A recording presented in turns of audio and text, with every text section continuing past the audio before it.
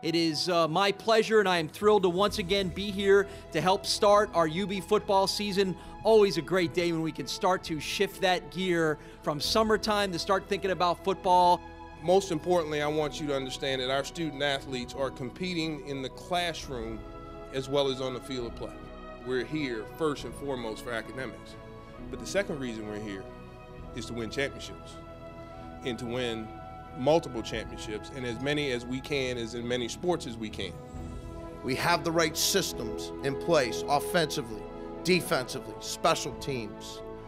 Now the key is developing that personnel, and the coaching connects it. System, personnel, coaching connects it. And that's the key. The harder you work, the luckier you get.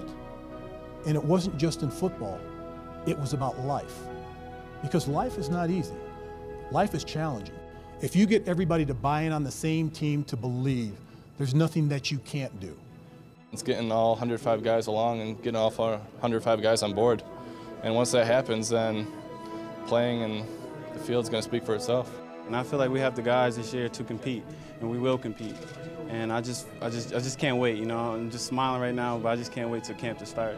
Starting this season, uh, we're going to have a little new look. Uh, we have a new season, a different team. So at this point, uh, we're going to bring these young men in, and you'll have an opportunity to see firsthand our new look for the UB Bulls for the 2011 season. I like it. I'm excited, ready to just play. Put them on, let's go.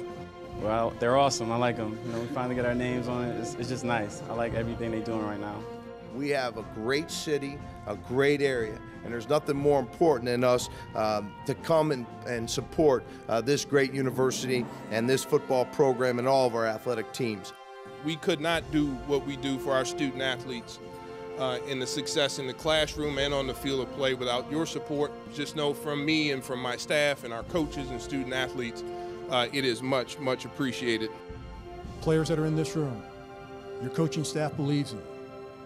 Your athletic director, Warde Manuel, believes in you. Your head coach, Jeff Quinn, believes in you. And I believe in you. Because as we say on College Football Final, nobody circles the wagons like the Buffalo Bulls.